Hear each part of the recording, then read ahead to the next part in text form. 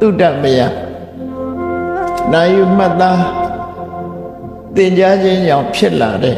အတိညာကိုတုဒ္ဒမယညာလို့ခေါ်တယ်ဆရာတူရဲ့ဟောပြောမှုသွန်သင်မှုတွေကိုနားထောင်ပြီးတော့မှဝိပဿနာကျင့်စဉ်ကိုနားလည်ပြီးနိဗ္ဗာန်ရနိဗ္ဗာန်ရောက်နိုင်တယ်ပေါ့လေနိဗ္ဗာန်လမ်းကြောင်းကိုသိနိုင်သုတ္တမယညာစိတ်တမယညာဆိုတာ ပရတောအတုတောအလို့ဆိုတဲ့ဘုသူထံကမှမကြားဘူးပဲနဲ့ကိုယ်ပိုင်အတွေးနဲ့ရရှိလာတဲ့စိတ်ဓာတ်ဆိုတဲ့ကြံစီမှုတသက်နဲ့နိဗ္ဗာန်လမ်းကြောင်းကို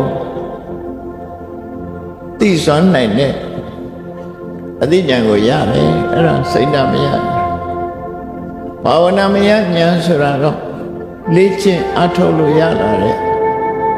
ကိုယ်ရင်နဲ့နှလုံးထဲမှာတတိတရားတွေဖြစ်အောင်တမာရီတွေဖြစ်အောင်ပညာတွေဖြစ်အောင်လေ့ကျင့်ပွားများအထောက်ရမှာဖြစ်တယ်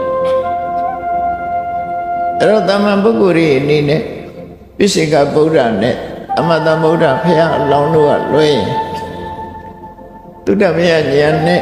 ဘာဝနာမယဉာဏ်ကိုကူးပြောင်းပြီးတော့နိဗ္ဗာန်ကိုရယူချ